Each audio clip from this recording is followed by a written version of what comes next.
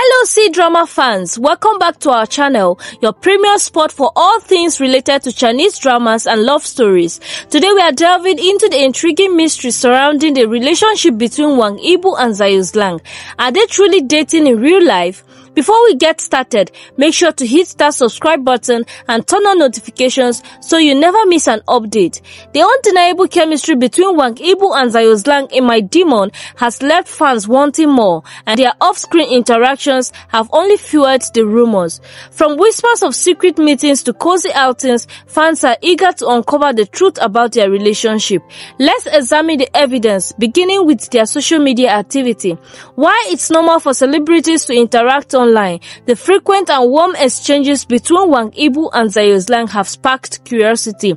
But does this really mean they are more than just friends?